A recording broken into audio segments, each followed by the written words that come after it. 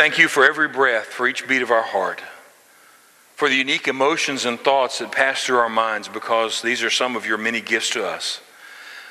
We praise you as we wake and when we sleep, when we're alone in our places of rest or at work in our places of assigned service, as we do our service to you in obedience. Father, for this day, as for each day before it and after it, we realize it's a gift from you, from your abundance and extended to us through your loving, magnificent grace. We honor you this day with the praise from our voices and with the silent praise as we hear the proclamation of your precious word. Father, may our hearts be as one as we, your children, come before you with hearts filled with joy. And because of Jesus, we can pray in his name. Amen. Are you glad to be here this morning? Isn't it a blessing to be in God's house? We're going to sing a song that says why we're glad. He has made us glad. Would you stand together? And we're going to practice a little bit of Baptist clapping. And we're going to clap on this song, He has made me glad. Now, the roof's not going to fall in, lightning's not going to strike you if you clap in praise to the Lord. So let's sing, He has made me glad. and with one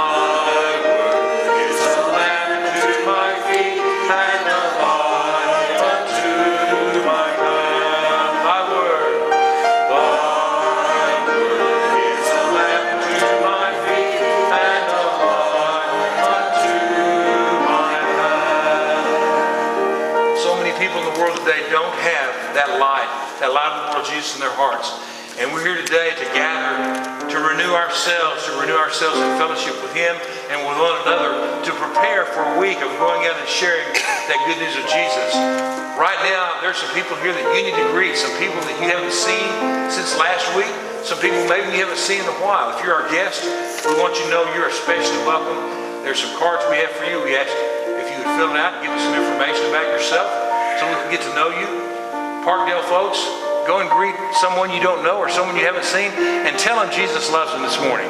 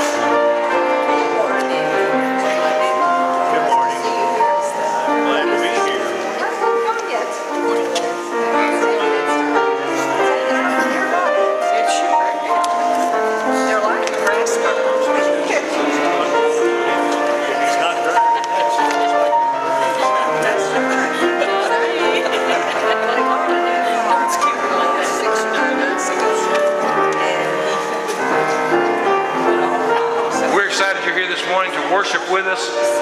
We're going to worship God in majesty. We're going to worship His majesty. Unto Jesus be all glory, honor, and praise. Sing together with us.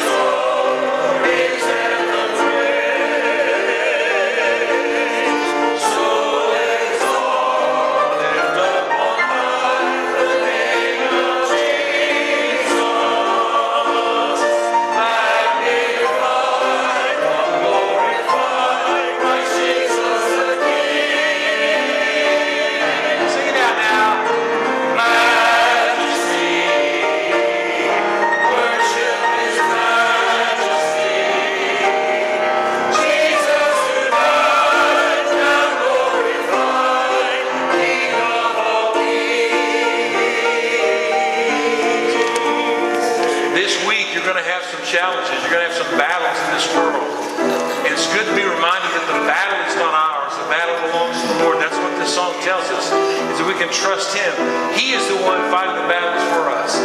Sing this together with us.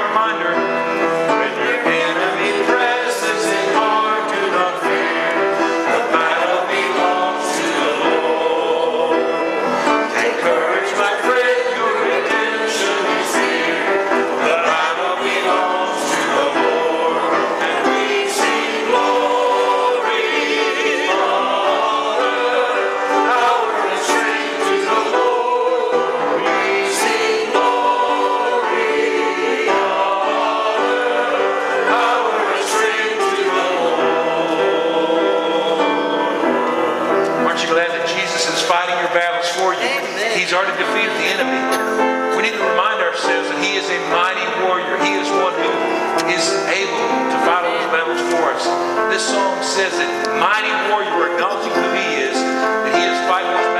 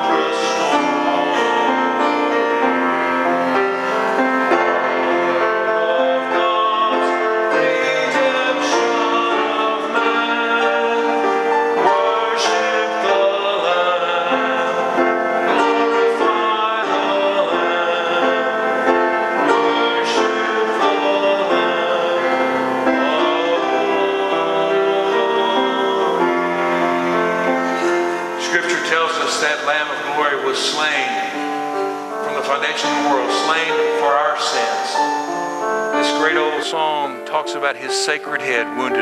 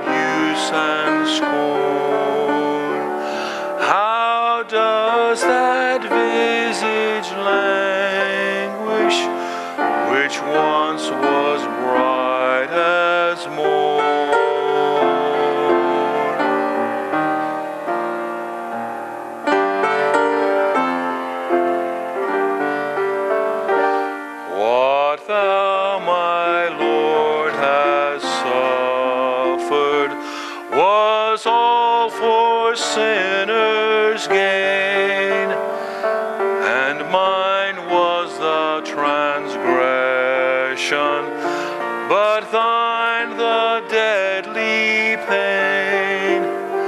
Lo, here I fall, my Savior, tis I.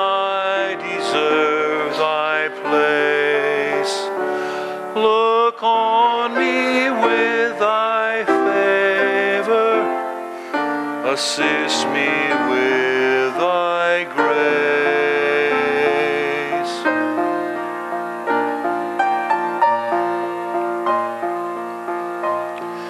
O sacred head.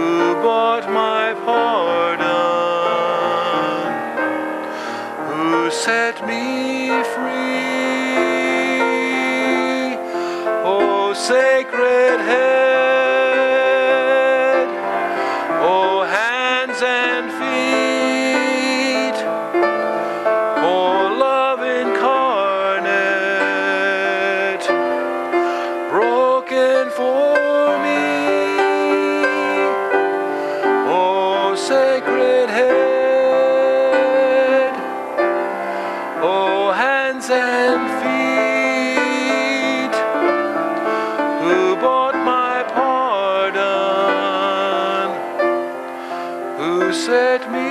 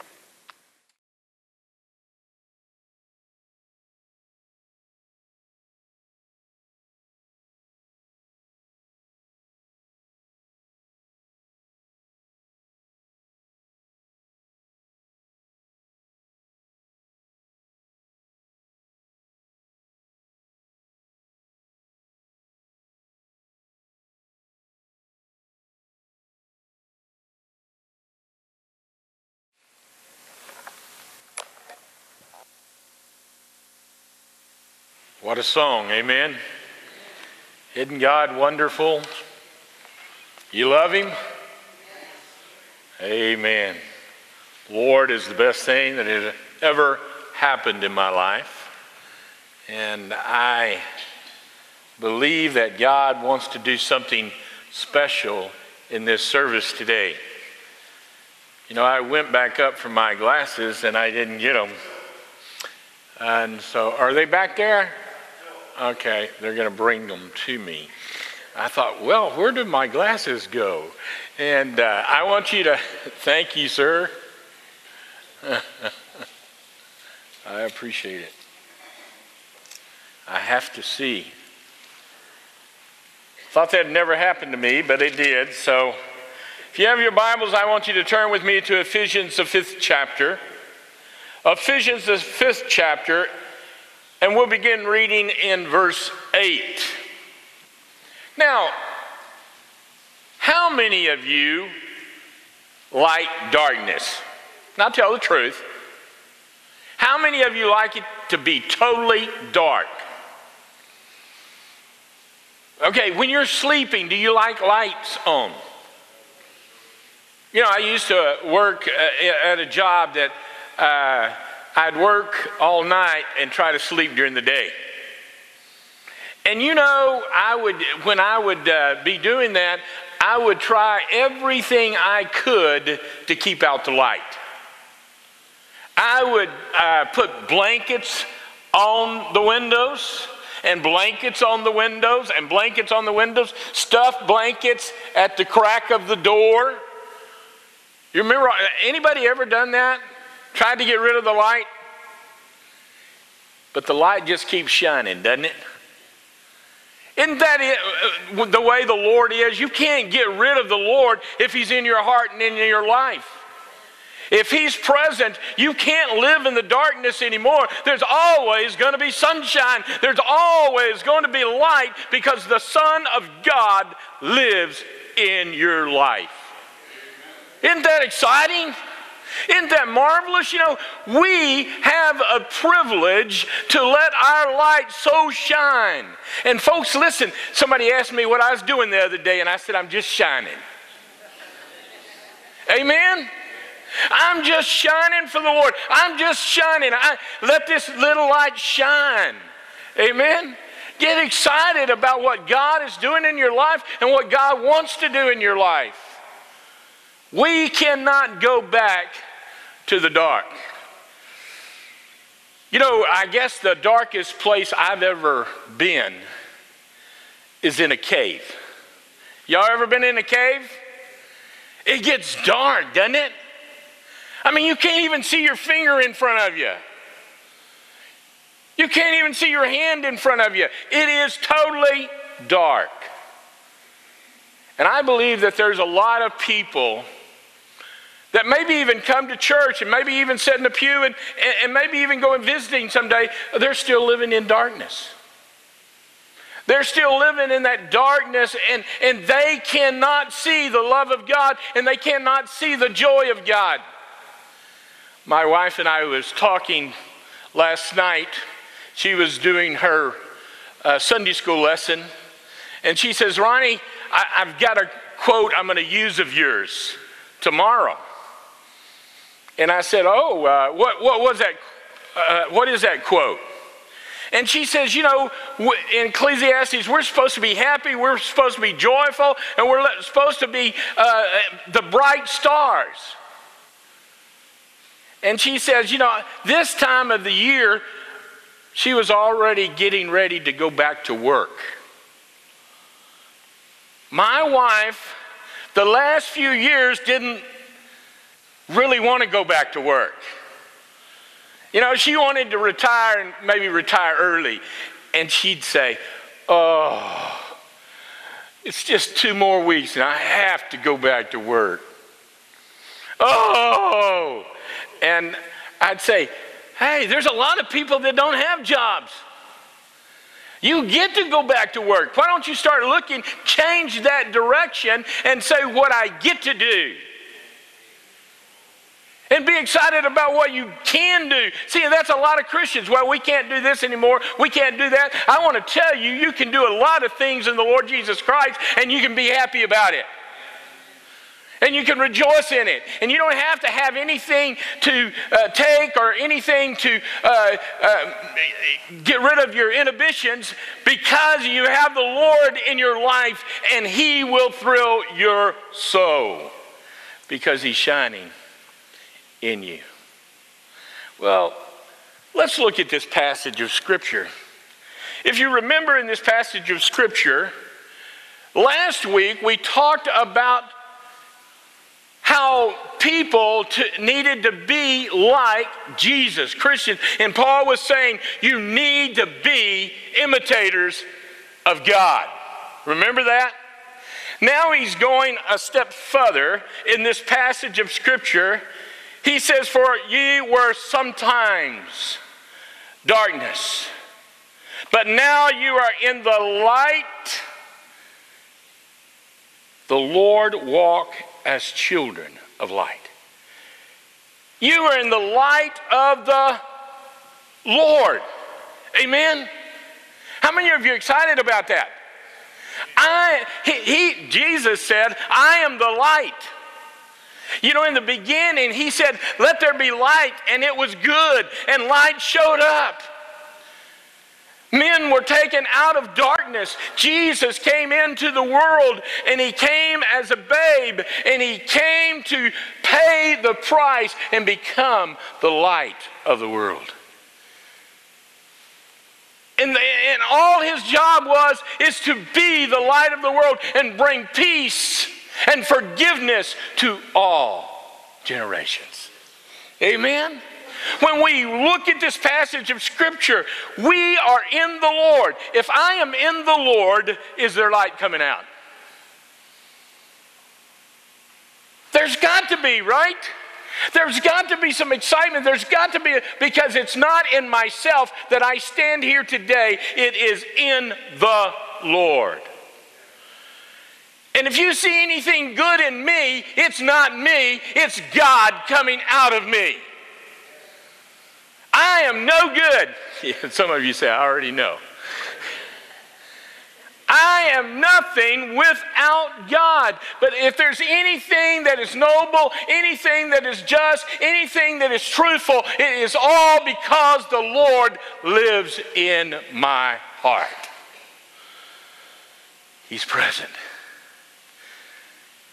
Now, he says to them, You're in darkness. Now, what is darkness?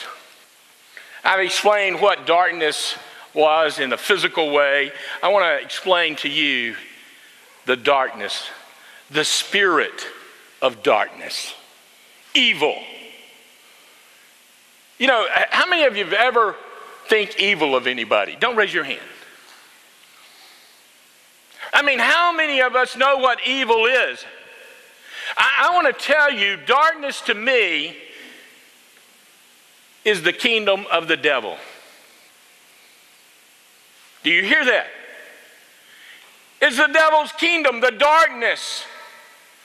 And the darkness, there's sin.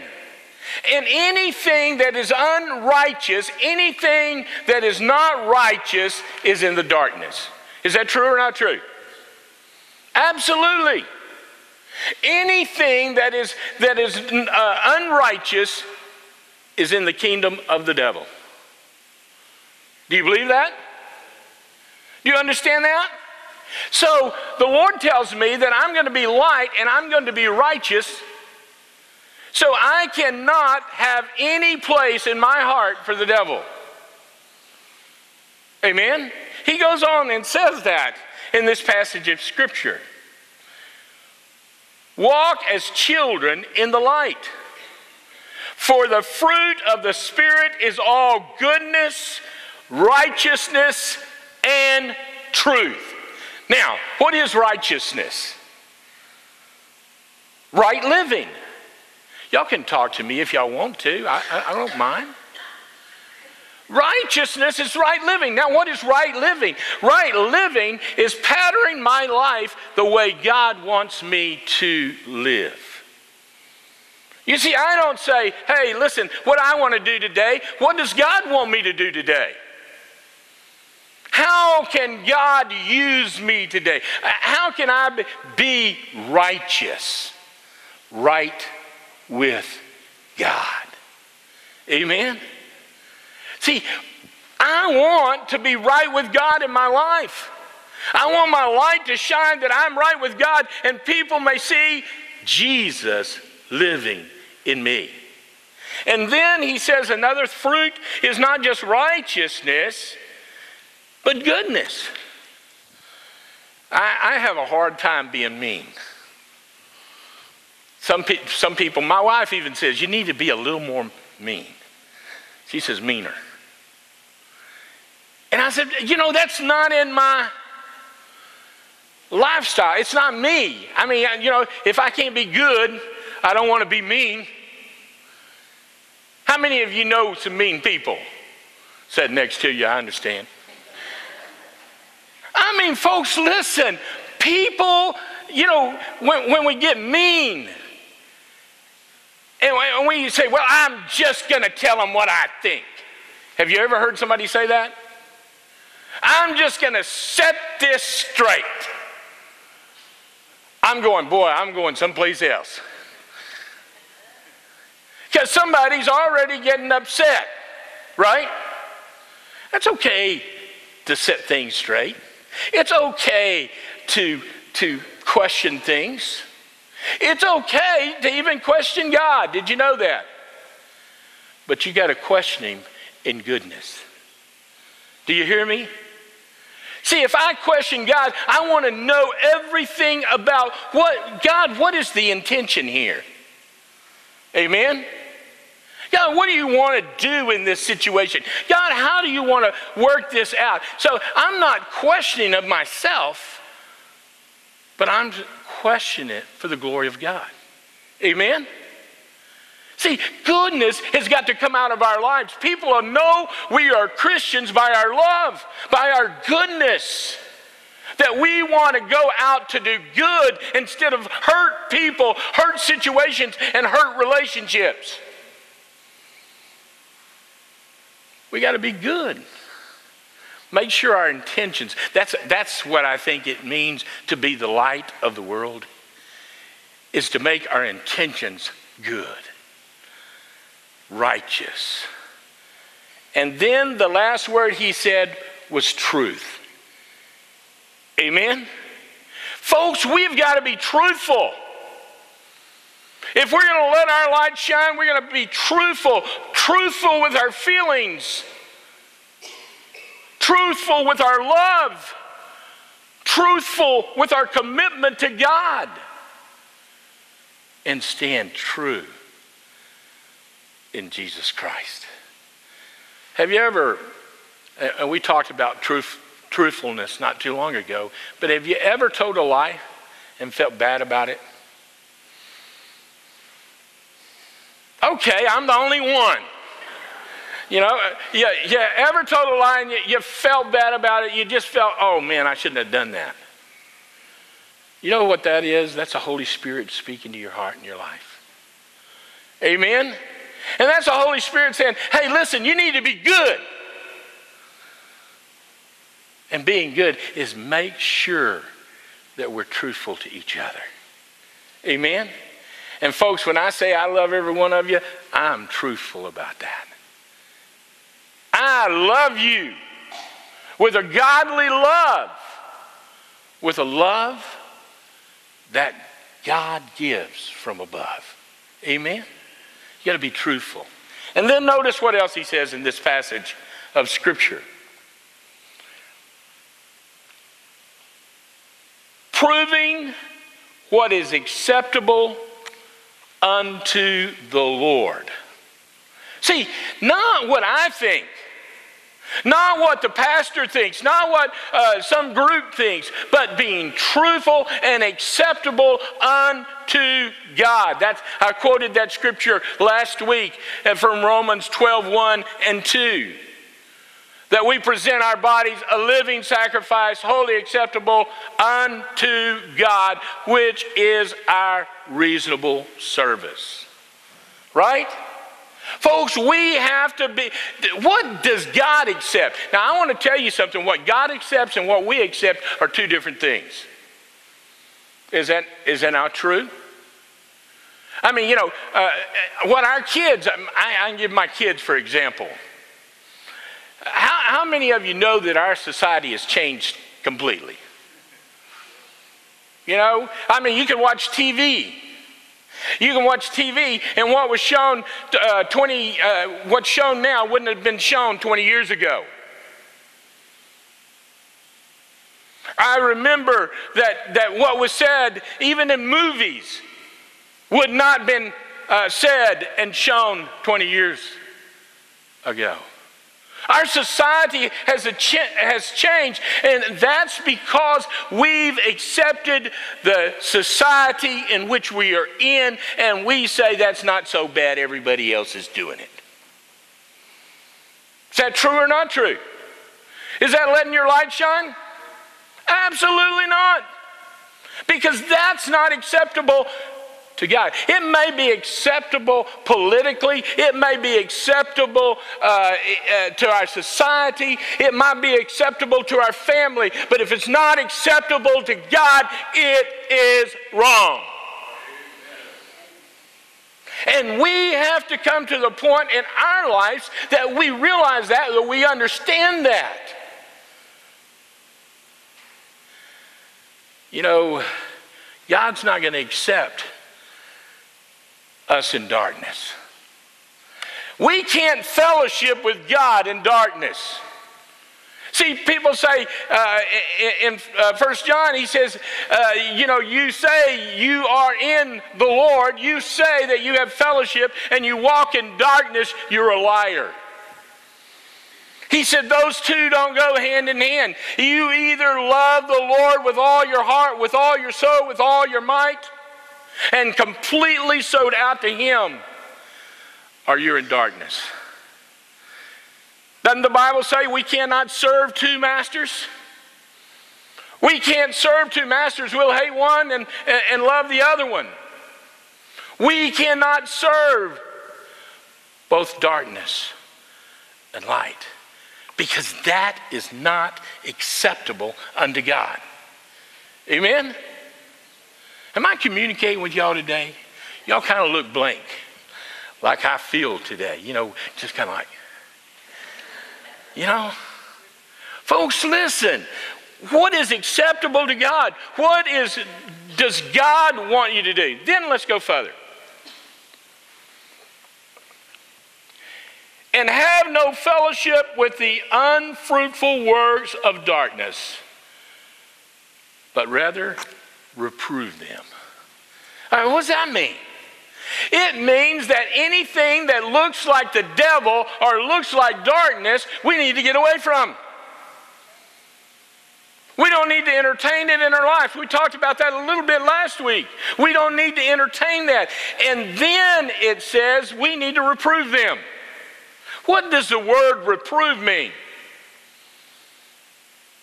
That means we've got to correct that wrongness in those people's life, and we got to say, that is wrong, that is in darkness, and we are in the light. Amen? See, I, I, I really don't know whether we know the difference between light and dark. Sometimes I, I, think that we think that we know the difference between light and dark, but anything that is, that is not for the Lord is in darkness.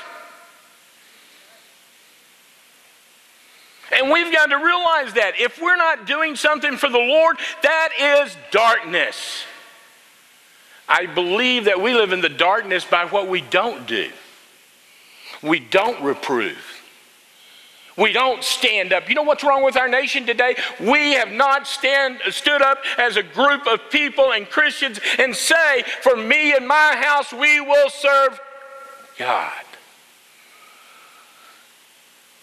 And say, That is wrong. This is wrong, and reprove it. We accept it in our lives. And when we accept it in our lives, it becomes a part of us. And then we say, everybody else is doing it. I'm not doing anything different. We got to reprove it. We've got to tell people it's wrong. Bring sinners to Jesus. Amen? And then he says, For it is a shame even to speak of those things which are done of them in secret. He said, We can't even sin in secret. Right? How many of you sin and say, Well, nobody ever will find out about that? God already knows it. Amen? And maybe I won't find out about your sin. I really don't want to find out about your sin. I really don't. But folks, listen, so many times we think that we can do things that are not right and we can live in the darkness and, and God's okay with it. No, he says, don't even entertain anything in secret. Amen? You know, folks, listen, we got to be different. We got to act different. Now, we're getting to the meat of the sermon now. But all things that are reproved are made manifest by the light, for whatsoever doeth make manifest in light. See, what am I supposed to do? Shine. That's all. Amen? Shine. I'm supposed to shine. Jesus is supposed to come out of my life, and people are going to say, hey, listen, look at Ronnie shining. Look at Jerry shining. They're just shining for Jesus.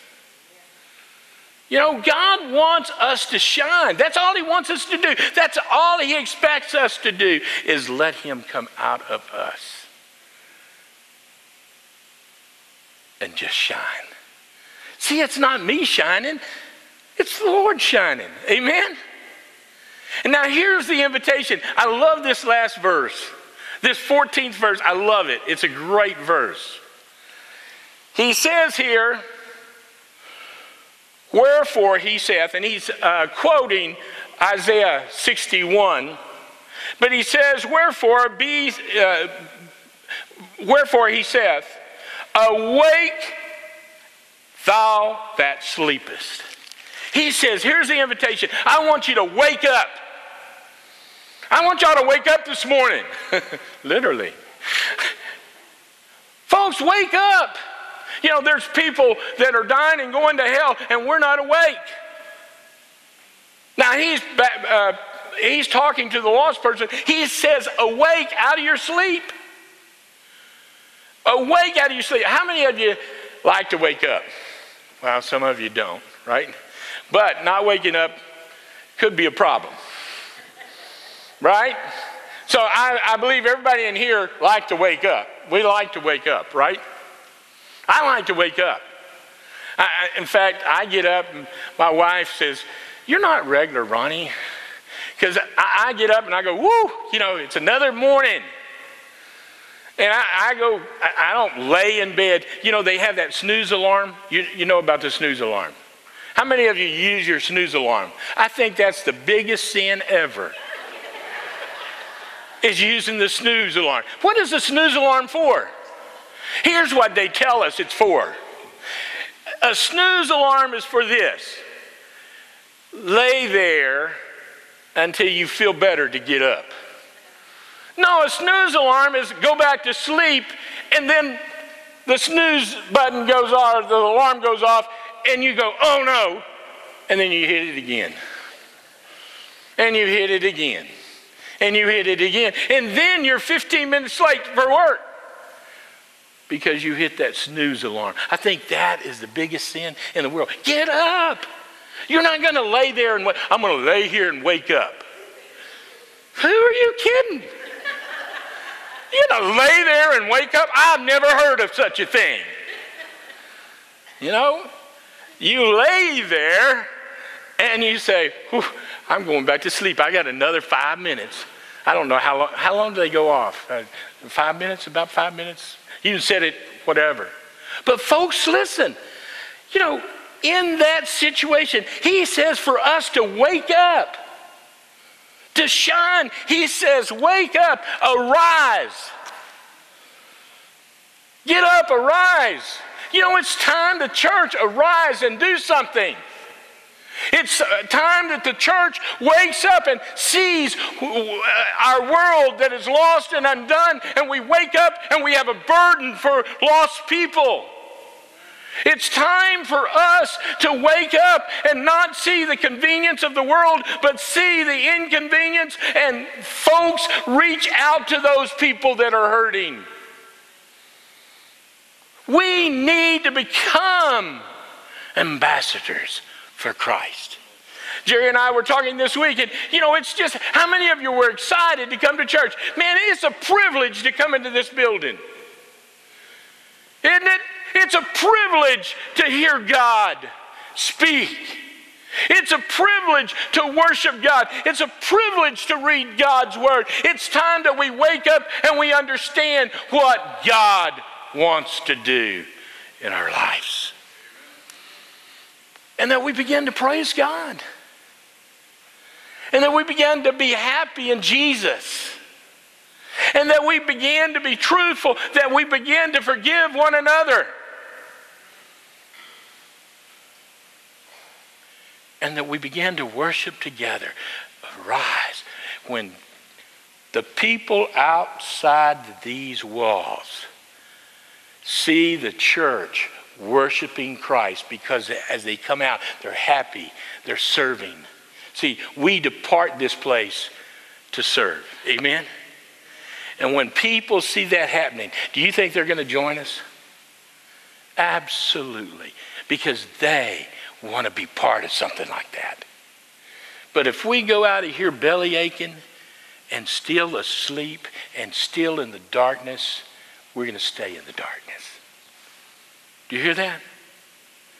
We've got to wake up. Take a big breath and say, God, what do you want us to do today? How do you want us to serve? All God wants you to do is shine and let the righteousness of the Lord flow out of your life. Our Father, I thank you for your word and how your word has touched our hearts. And Lord, how we're made to understand that we need to be about your business. And Lord, that we need to shine. And Lord, I just pray, God, as we go to this invitation, Lord, it's time that we as Christians begin to shine by just rededicating our lives. Saying, Lord, I know you saved my soul, but God, I want you to give me that joy of my salvation, that peace, that love, that unspeakable joy. Lord, I just pray, God, that people might come to you that, that way today. Maybe there's those that need to join this congregation today. God, I pray that they may come. And then, Lord, I pray, God, for those that have just uh, never given their heart to you. I pray that they'll come and receive you as their personal Savior. Lord, I thank you for what you're going to do in this invitation. We give it into your hands. In Jesus' name we pray. Amen. As we stand together, as God is speaking to your heart and your life, as Jerry sings through this hymn of invitation, God's spoken to your heart. Will you do what God wants you to do? Right now, you come. Of darkness, we are given. Hope for all the dying. If you need me to pray for you, you say, Brother Ronnie, I'm having a hard time. How will they I just need you to pray for me. You come right now.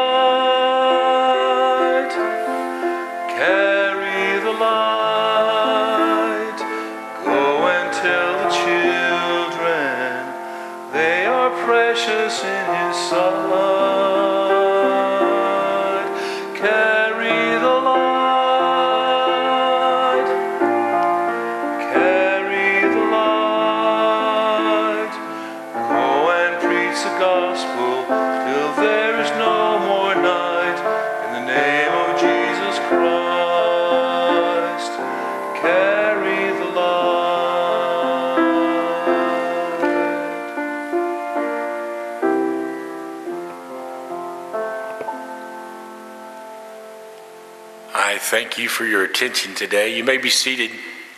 Uh, there's a few things I want to tell you about. Uh, our building, uh, we have signed a contract on a building 6606 Weber, and we've signed a contract on that building and the piece of property next to it. Uh, that's exciting, isn't it? How many of you are excited about that? Amen. It's still going to be real easy for everybody to get to, you know, and you say, well, they're going to move away from the church, you know, and where are they going to move to? And, and God's just dropped this in our lap. And I believe it's going to work out. Uh, we're working on that. We're doing the inspections now on that. So you start praying more about it, that God will work things out. Uh, and I know, I, I have to tell you this, I know that some of you have been here for years and years and years, and it's like losing your house. And I know that. And I'm sorry that's happened. And I pray God will just give you strength in that. And that God will just bless you. And it's about Him, it's not about us anymore. Amen? And that we just release it to the Lord. So don't you think for one minute we're not sensitive to that. We're not sensitive that you're leaving your house. And we are. And uh, I want you to know that from the bottom of my heart, okay? So I'm excited. I hope you're excited. Um, we'll be, uh, you say, well, when we'll be in it? I don't know. But we're hoping by the first of the year we may be there. Okay? Let's just say that, all right? All right, y'all have any questions about it? Thank y'all very much. Let's bow for our prayer and the offering. Heavenly Father, Lord, we thank you for this day. We thank you that we do live in a country that we can come and come together to worship you. Lord, we just thank you for the messages that we heard this morning in Sunday school and in this, this service. Pray that you'd help us to use the wisdom in our hearts that we would do the things that would please you. Lord, we know that every perfect gift comes from you, and we thank you, Lord, for this uh, new building that we're working to get. We just pray that you'd give us guidance and wisdom as we do it. Now, Lord, I pray that you'd be with the offering that we're taking, the money that's contributed, that we might use it in a way that would please you. These things I ask in Jesus' name. Amen.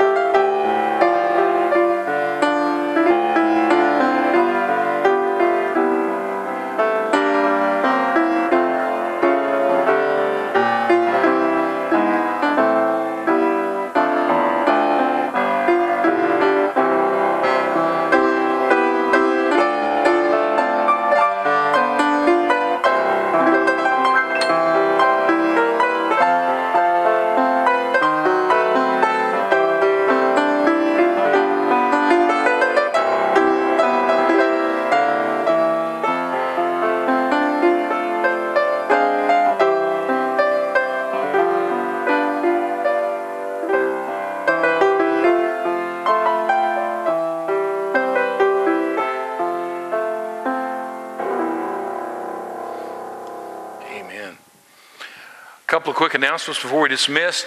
Uh, remember, we had Vacation Bible School, a very successful Vacation Bible School a few weeks ago. This afternoon at 4:30, we need each of you who could possibly be here to come meet with us. We're going to go out and visit each of those families.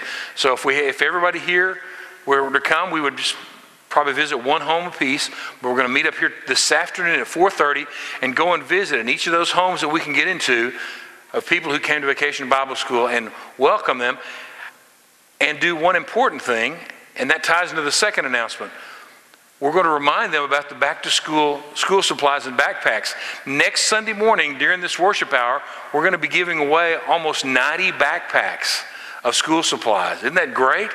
And you're going to get to see that, and we're going to have all those families here. So we're going to go and invite them, remind them about the backpacks, and then next week you come and watch and see as those children receive those backpacks what a joy it is to be able to put into the hands of those children the supplies they need for school for this coming year. And you've been a part of that. We're taking donations for that. If you want to donate to that, uh, feel free to do that. And then next Sunday come. So this afternoon at 4:30, we're going to go visit them, and then next Sunday we're going to come and see them receive those backpacks. Isn't that exciting? So you come, and if, even if you don't feel comfortable going to visit by yourself, don't worry. We'll have someone to go with you so you won't have to be by yourself. But the more we can have, the better. It'll be a great time. Let's stand together, we're going to sing one more time the chorus He has made me glad. He has made me glad. He has made me glad. I will rejoice, for He has made me glad. He has made me glad. He has made me glad. Has made me glad. God bless you. We'll see you this afternoon at 4:30 as we go visit.